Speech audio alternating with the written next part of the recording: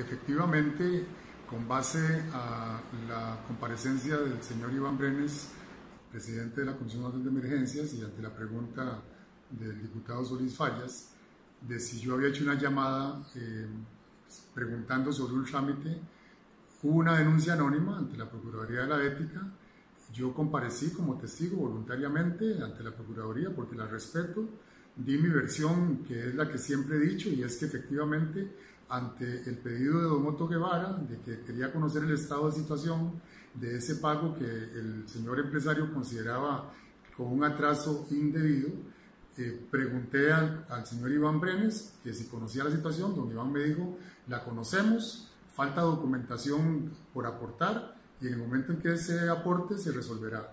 Hasta ahí llegó mi situación, yo, yo simplemente le dije, bueno Iván, perfecto, gracias y esa fue mi actuación, la actuación que he hecho no solamente para un empresario, la he hecho para sectores y para otros empresarios, que es parte de la labor de eh, un diputado, trasladar situaciones. En ningún momento presioné, en ningún momento aceleré trámites, en, ningún momento agilicé trámites. La Procuraduría ahora eh, resuelve, eh, considera que la, la, labor mía fue de alguna manera impropia,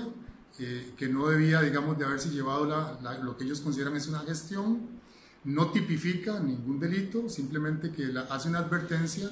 que eso es algo que un diputado no debe hacer. Eso me lleva a pensar que urge una ley de lobby, una ley que regule este tipo de actuaciones, porque sin ser indebidas, todo diputado nos exponemos cada vez que atendemos a la ciudadanía, cualquiera que sea su origen, eh, y trasladamos esas inquietudes o quejas y hoy día yo estoy metido en el ojo de la tormenta por haber cumplido mi labor como diputado. No obstante, de nuevo,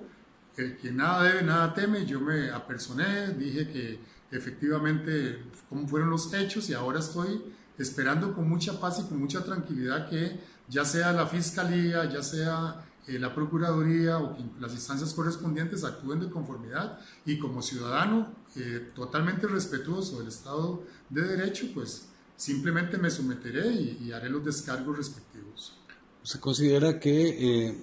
todo el tema de la relación suya o la forma en que se le ha relacionado con Juan Carlos Bolaños se ha sobredimensionado, me decía? Me parece que en general